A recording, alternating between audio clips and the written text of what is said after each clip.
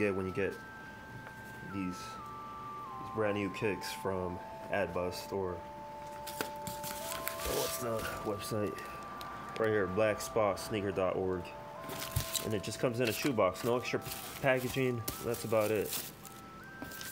So right here, uh, hey Jammer, you are now the owner of a very special pair of shoes. The world is a better place when we keep money down in the indie market rather than letting it flow to the top where the fat cat CEOs would hoard it. Welcome to the Black Spot Collective. We hope you feel a renewed bounce in your step and you jump in your stride and another well another weapon in your activist tool belt.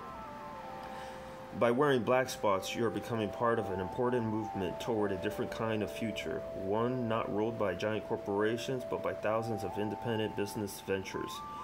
Your black spots are a symbol of resistance against mega brands like Nike, whose multinational footprint has stomped out the creativity and spontaneity from excuse me from so much of our lives.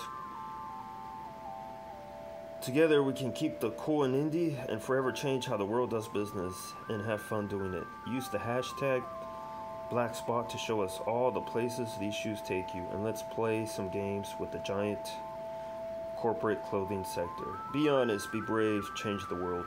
The Black Spot Collective. You got the little, you got the red dot right there. Check it out. Oop. But material feels good. Hemp, hemp material, laces. Oh, there you go. Thank you very much for watching. Stay tuned. But uh, I'll let you know, give you another update video on how these shoes feel. Once they get beat up, do they still feel great?